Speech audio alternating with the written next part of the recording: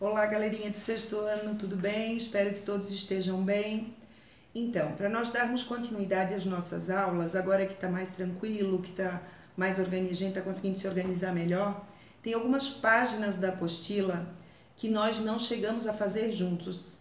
Então, hoje a gente vai ter que, dar, que voltar nessas páginas, nós vamos fazer alguns exercícios. Então, vocês têm que ter consigo apostila, lápis e borracha, ok? Agora vira para lá. Ok. Então, essas páginas que a Pro. Só um instantinho. As páginas que a Pro se referiu há pouco são as páginas 29 até 33 da apostila. Eu gostaria que vocês pegassem a apostila para nós resolvermos alguns exercícios dessas páginas. Ok? Podemos? Nós vamos começar então, página 29, o exercício número 1. Ele diz o seguinte: Retome a receita de picolé da página 16. Então é interessante que vocês voltem lá um pouquinho agora, parem o vídeo, vão até lá dar uma olhadinha qual é essa receita, ok? Então, retome, retome a receita de picolé da página 16 e complete a tabela com a quantidade correta dos ingredientes para, para mais de uma receita. Então vamos lá. Picolé de morango recheado, Quantidade de receitas. Para nós fazermos uma receita, são necessários 200 gramas de creme de leite, 700 gramas de morango, 5 colheres de sopa de açúcar e 395 gramas de leite condensado, ok? A sugestão do problema é, se nós dobrarmos a receita, fizermos o dobro, então, o dobro de 1, 2, o dobro de 200, 400, o dobro de 700, 1.400. O dobro de 5, 10. O dobro de 395, 790 gramas de leite condensado. A ideia aqui, da primeira para a segunda linha, foi sempre o dobro, porque a gente queria o dobro da receita. Agora aqui são seis receitas. Então, o que, que a gente pode pensar de uma receita para seis? Uma vez, seis. 200 vezes 6, 1.200 é, 700 vezes 6, 4.200. 5 vezes 6, 30. 395 vezes 6, 2.370. Então, aqui a gente completa a nossa tabelinha. Vamos adiante. A página 30, número 3. A página 30, número, número 3, diz pra gente o seguinte: observe as peças de uniforme de um recepcionista de, de hotel. Ele tem duas calças, uma cinza e uma azul, duas gravatas, uma preta e uma cinza, quatro camisas, cinza, azul, branco e salmão, ok? Diz o seguinte pra gente: item A. Faça um esquema com todas as variações que esse profissional tem para vestir: uma calça, uma camisa e uma gravata. Então, olhem só. É, num dia de manhã, esse recepcionista pode ter acordado e vai trabalhar, ele precisa colocar o uniforme, ok? Então ele poderia, por exemplo, usar a calça cinza com a gravata preta, com a camisa cinza. Seria uma, um uniforme completo. Mas ele poderia ter pensado na calça cinza, na gravata preta e na camisa branca e assim por diante. A pergunta, a, é, a questão A se refere justamente a isso. Quantas seriam, quais seriam essas possibilidades? Então aqui a Prodébora fez um esqueminha pra gente. Eu coloquei como primeira etapa a escolha da calça, segunda etapa a escolha da gravata, terceira etapa a escolha da camisa e aqui a gente teria relações, a relação das opções. Vamos ver. Ele pode ter escolhido CC a calça cinza com a gravata preta com a camisa branca, por exemplo. Então ele teria como opção essa aqui, calça cinza, gravata preta, camisa branca, mas ele poderia ter escolhido a calça cinza com a gravata cinza e a camisa salmão, então teríamos uma outra opção de uniforme. E assim por diante. Aqui poderíamos começar pensando na calça azul, calça azul com a gravata cinza e a camisa é, cinza também. Teríamos outra opção de uniforme.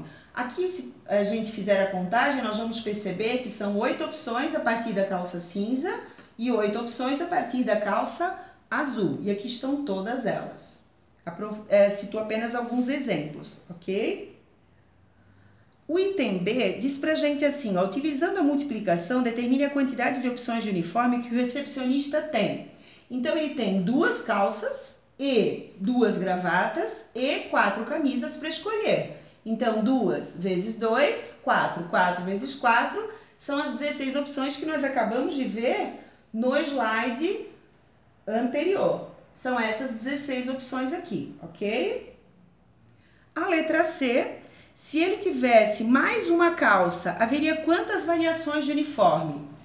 Aqui nós temos, no problema, nos deu duas calças, ok? Agora, aumentando para três, então ele teria três calças de opção, duas gravatas e quatro camisas. No total, 24 opções.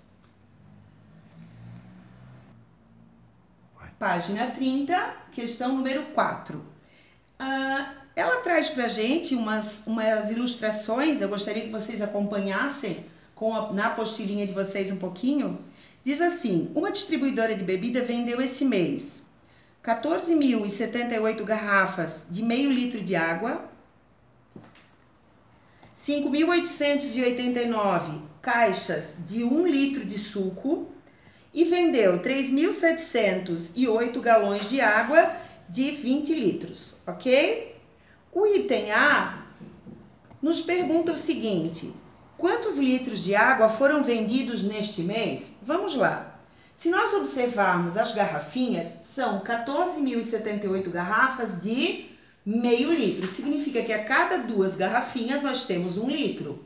Então, pegando esse total de garrafas e dividindo por dois, a gente descobre que são 7.039 litros de água, ok? Os galões são 3.708 com 20 litros cada um. Então, a quantidade de galões vezes o volume que cada um, a capacidade que cada um tem de 20 litros, nós temos 3.708 vezes 20 são 74.160 litros de água. Somando o que foi vendido de água em garrafas e o que foi vendido de água em galões, nós chegamos em 81.199 litros de água. O item B pergunta quantas garrafas de água de 500 ml foram vendidas a mais que caixas de suco. Então basta a gente efetuar aqui uma subtração. Resultou em 8.189 garrafinhas de água a mais do que caixinhas de suco. Letra C, ao todo, quantos produtos foram vendidos? Aqui é a quantidade de garrafinhas de 500 mililitros, aqui é a quantidade de caixas de suco, aqui é a quantidade de galões, totalizando 23.675 produtos. Vamos adiante.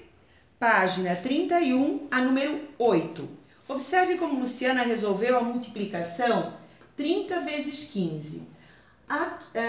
Aqui ela fez uso da propriedade distributiva da multiplicação. Vamos dar uma relembradinha nela. 30 vezes 15. O 15 pode ser escrito como uma soma de 10 e 15, não é? Então, nós podemos fazer Retomando então, o 30, o 15 pode, o 30 vezes 15 pode ser escrito como 30 vezes 10 mais 5, ok? 30 vezes 10, 300, 30 vezes 5, 150, soma deles 450. Relembrando aqui as expressões numéricas, nós temos multiplicação, soma, multiplicação, resolvemos primeiro as multiplicações, ok? Aqui é para eu resolver também para vocês a letra A e deixo a letra B, B para que vocês resolvam. Então, 20 vezes 35. Eu, podemos calcular fazendo 20 vezes 30 mais 5. Então, 20 vezes 30, 600. 20 vezes 5, 100. 600 mais 100, 700. Ok? Então, a letra B fica, fica para vocês resolverem, ok? O resultado da letra B é 1080. Continuando, página 32, a número 10. Aqui tem a ilustração que vocês têm na, na, na apostila também. Então, em um restaurante, o cardápio apresenta as seguintes opções. Então, a gente tem um, dois, três, quatro, cinco tipos de, de pratos, a escolha do cliente. Temos três sucos, e dois tipos de, de sobremesas, ok? O item A diz pra gente o seguinte: de quantas maneiras pode-se formar um pedido escolhendo um desses pratos, uma dessas bebidas, uma dessas sobremesas? Então, a primeira, a primeira etapa aqui seria a escolha do prato. Então, tem cinco pratos à disposição. A segunda etapa seria a escolha da bebida, são três sucos à disposição. E a salada de fruta ou pudim representam duas sobremesas. Então, 2 vezes 3, quim, uh, desculpa, 5 vezes 3, 15, 15 vezes 2, 30. Então, 30 maneiras diferentes de o cliente se servir. O item B diz, uma pessoa escolheu o frango com fritas. Então, dentre essas cinco opções, ela escolheu o frango com fritas. Então, a primeira etapa, que é a escolha do prato principal, a gente fica com apenas a opção escolhida. Os sucos entre os sucos são três e os, as sobremesas são duas. Então, uma, um vezes três, três vezes dois, seis maneiras diferentes. O cliente poderia se servir escolhendo o frango com fritas como prato principal. Galerinha do Sexto Aninho, vai dar uma paradinha nesse vídeo e vou retomar o próximo na página 32, porque senão ele fica muito extenso, muito cansativo para vocês também, ok? Até daqui a pouco, então.